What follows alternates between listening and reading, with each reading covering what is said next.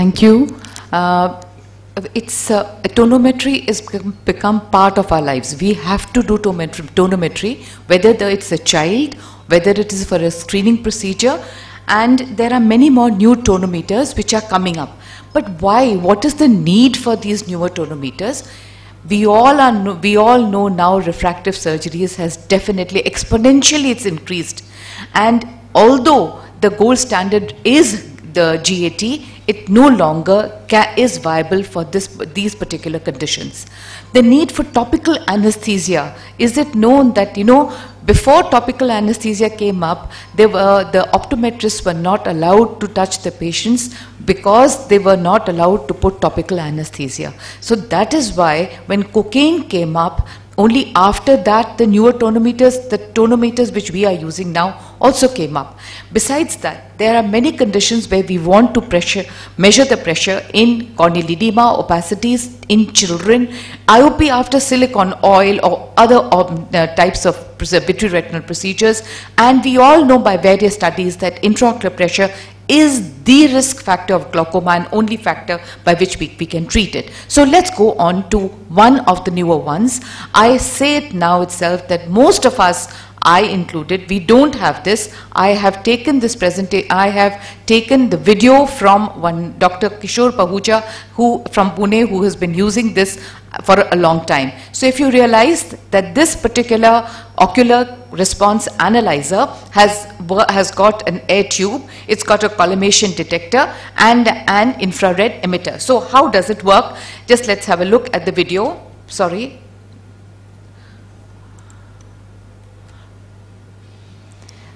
So this is how it starts fixating on the patient's eye and then after that once, once the air pulse, it's a non-contact tonometer, air pulse goes onto it and it applanates the cornea and then after that again a second applanation takes place. At that time the cornea dips further down and and a second applanation comes down. That's a second applanation and once it's a peak applanation then it can be, then you get therefore two applanation curves.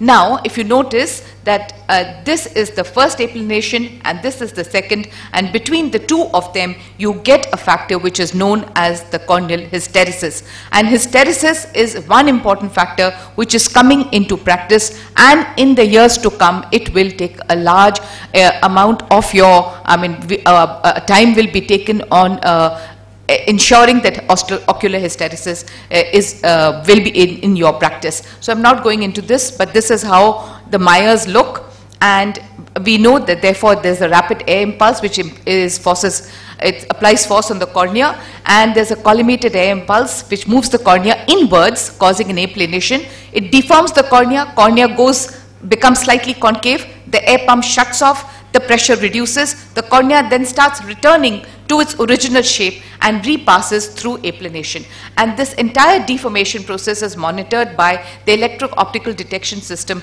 which is an air, uh, infrared system. It monitors corneal curvature in the central 3 millimeters. So this, the difference between the two of them, as you said, as I've showed, that between P1 and P2, that's the two applanations, is corneal hysteresis. An average of two applanation events results in a repeatable. And this is one very good thing that the, you get a repeatable Goldmann correlated IOP measurement.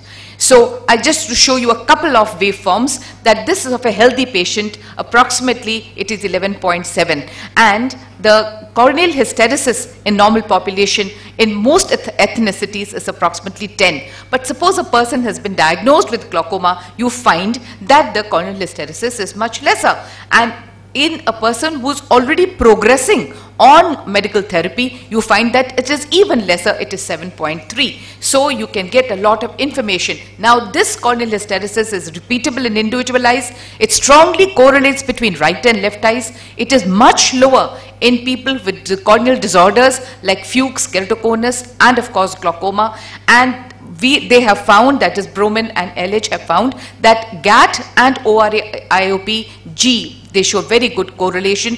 It does not significantly vary throughout the day, which is a huge problem with us eh, when we are just doing intraocular pressure. And we find that corneal hysteresis may be strongly correlated with glaucoma presence, glaucoma progression and also effectiveness of glaucoma treatment than central corneal thickness. Another study which says the same thing. ORA can be done also in children and in children by this study they have found that's approximately 12.5. It is markedly lower in children who are having congenital glaucoma but when a child has nystagmus you can't do it with an ORA. Now this is again, this machine is in RPC AIIMS and I've taken it from there. Now again, this is a non-contact tonometer by which there's a rapid air puff by non-contact tonometer. The reaction of the cornea, you just see how the cornea, now the air puff comes over here and then the cornea starts dipping and here is how the dip takes place here. And now the images instead of being caught by infrared is now being caught by the Scheimpflug camera and that takes about 4300 images. Now these are uh, as I said horizontal Scheimpflug images are taken and based on 140 images which are taken in 31 milliseconds after the onset of air pulse then it gives a detailed assessment of corneal biomechanical properties which again is something which is coming up and we all need to know it. Now now comes another tonometer, which is one of the newer tonometers, which is probably also going to come up in the newer in the years to come, the dynamic contour tonometer. Now this measures intraocular pressure. It is independent of corneal rigidity or thickness, curvature, or any of the elastic properties of the cornea.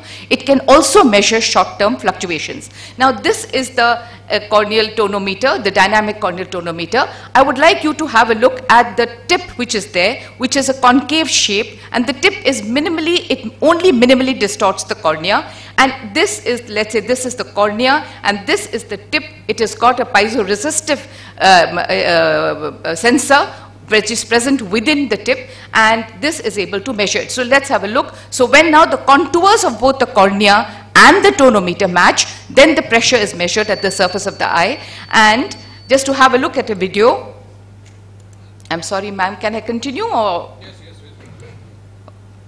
Oh, I'm sorry, now I have lost it. I, I, I, don't know where I have lost it. Uh, that, please, can you just can you just go back? Yeah, yeah. So just have a look as to how the, the Pascal tonometer. This is, by the way, used on a slit lamp.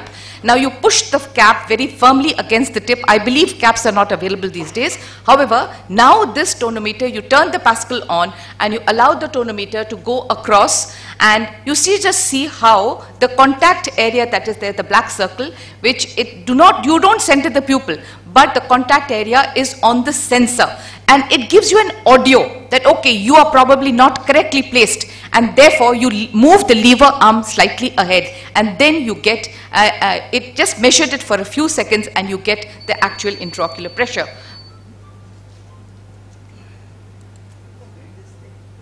Okay ma'am so the CCT plays a much lesser role, role in DCT, but it is said to be more time consuming, it is more difficult to perform, and IOP remains with the DCT unchanged after LASIK, which is of great importance to us because we are going to get patients who have undergone LASIK and therefore we need to know how to do this. And there is less intra and inter uh, observer uh, um, tono, um, uh, variability. Tonopen, all of us know, I'm not going to go into it, only one thing that it can be used for children, it can be used in irregular corneal surfaces, corneal with pathology, very useful in the OT. All of us are using it in EUA on supine patients, can be also used, recorded on bandage contact lenses, very useful for people who have got corneal burns, neurotrophic ulcers, in screening camps, but in hard surfaces, like you've got a band keratopathy, it overestimates the intraocular pressure, also good for measurement of IOP in gas-filled eyes you got the rebound tonometer.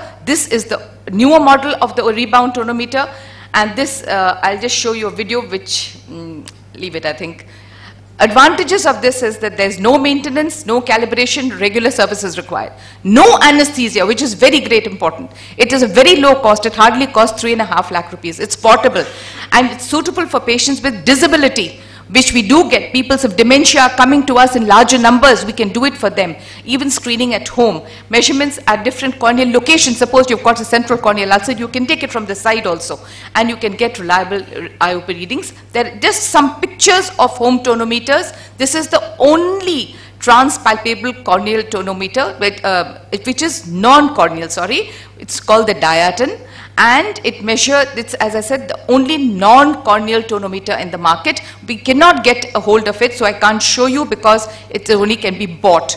So uh, the, there's another tonometer which can be used at home, that is the e-Ocutone tonometer, and this is another eye care home tonometer which can be used and it's used most comfortably with the uh, patients, especially for people who are showing progression. We can use it so that we can come to know what happens.